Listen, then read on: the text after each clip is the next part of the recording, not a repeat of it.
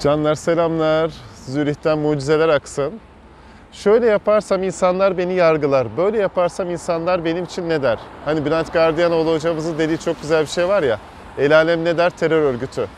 diye diye bu hallere geldik. Siz yaşamak istediklerinizde, seçimlerinizle bir olun, hizalı olun. Gerçekten seçin ve kendiniz olun bilincinizle canlar. O zaman bütün evren buna saygı duyuyor. Ama siz yaptıklarınızda, ettiklerinizde kendinizi yargılıyorsanız o zaman zaten yargılanıyorsunuz. Yani şöyle düşünün, her an yaptığımız seçimler yaratır. Her seçim bir şey yaratır. O zaman bakın canlar, anlık seçimlerle yaşayın. Yani biz bir sözleşme yapıyoruz. Düşünsenize evlilik sözleşmesi bile yapıyoruz. Ama aradan bir yıl geçiyor, iki yıl geçiyor, üç yıl geçiyor. Artık o insan değiliz ki. Yani o sözleşmeyi eğer ki değişiyorsa bir şeyler, gitmiyorsa zoraki sürdürmek zorunda değiliz canlar. Bu bir illüzyon. Ha gidiyorsa, muhteşemse eyvallah. Tamam ama gitmiyorsa gitmiyor. Şundan bahsedeceğim. Bir seçim yaptınız, sonra yarın değiştirdiniz, o size ağır geldi. Değiştirmek istediniz, başka bir seçim yapmaya karar verdiniz. Ve şu alana giriyoruz. Aa, şimdi ben daha önce böyle bir söz vermiştim. Şimdi bunu ben değiştirirsem benim için ne derler? Benim için şöyle derler, böyle derler ve ben de kendimi şöyle hissederim. O altında hissedeceklerinize bakın.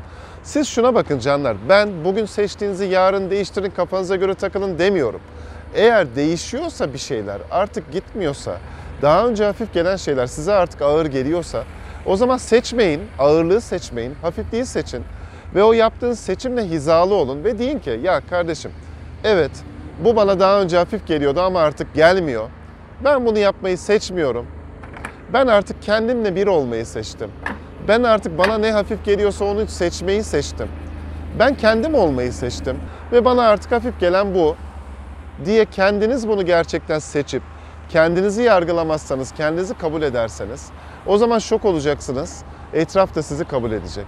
Ne diyecekler biliyor musunuz? Eyvallah. Ama ben daha önce bir karar almıştım ve şimdi bunu değiştiriyorum ve insanlar beni yargılayacak dersek evet o zaman öttürüyorlar. o zaman yargılıyorlar canlar. Niye biz kendimizi yargılıyoruz? Ve lütfen yargılanmaya da gönüllü olun. Ya Akses der ki çok güzel bir lafı vardır. Yargılanmayı alıp kabul ederseniz para kazanırsınız der. Çünkü yargılayan insanlar, sizi yargılayanlar size enerji gönderirler. Ama ne demek alıp kabul etmek? Onlarla didişmeyip, bir dakika ya, onlar öyle dedi diye ben öyle olmuyorum. Ben kendimi biliyorum. Yani bir insan benim için kötü laflar söyledi diye ben öyle mi oluyorum? Hayır. Onları gerçek yaparsam öyle oluyorum. Onları satın alırsam öyle oluyorum. Alıp kabul edersem, gönüllü olursam yargılanmaya, kimseyle didişmemeye, ben kendimi biliyorum, ben kendimi seçtim, kendim olmayı seçtim dediğinizde ne oluyor biliyor musunuz canlar? Sonsuz olasılıklar yaratılıyor. Bütün evrende size saygı duyuyor. Sizi alıp kabul ediyor. Zaten siz kendinizi alıp kabul etmezseniz evren kabul edemez. Siz, siz kendinizi yargılarsanız bütün evren yargılar. Siz kendinizi yargılamazsanız bütün evren yargılamaz. Yargılansanız da umrunuzda olmaz. Siz kendinizde hizalı olursunuz.